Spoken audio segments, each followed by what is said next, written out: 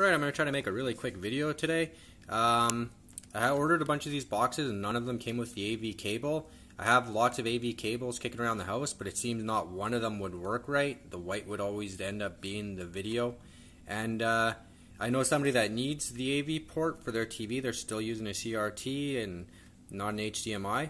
Uh, I know you can order this cable from somewhere. I have no idea. So if somebody can just post in a comment where to order it from for people that don't want to bother, bother with the soldering and stuff, that'd probably be helpful.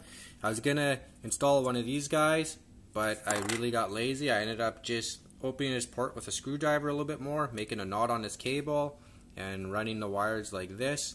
So there's your video, your right and your left. I might have these two backwards as well, so you might have to switch that around. I'll also show a picture of the end, how it's uh, wired up. And that's it guys. Thanks for watching and that's it. Bye.